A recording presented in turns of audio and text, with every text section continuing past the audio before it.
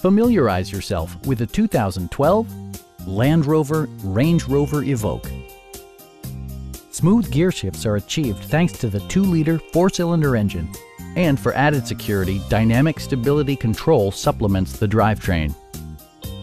A turbocharger is also included as an economical means of increasing performance.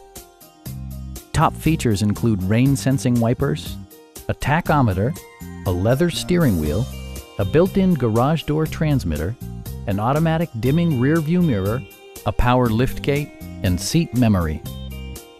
Side curtain airbags deploy in extreme circumstances, shielding you and your passengers from collision forces.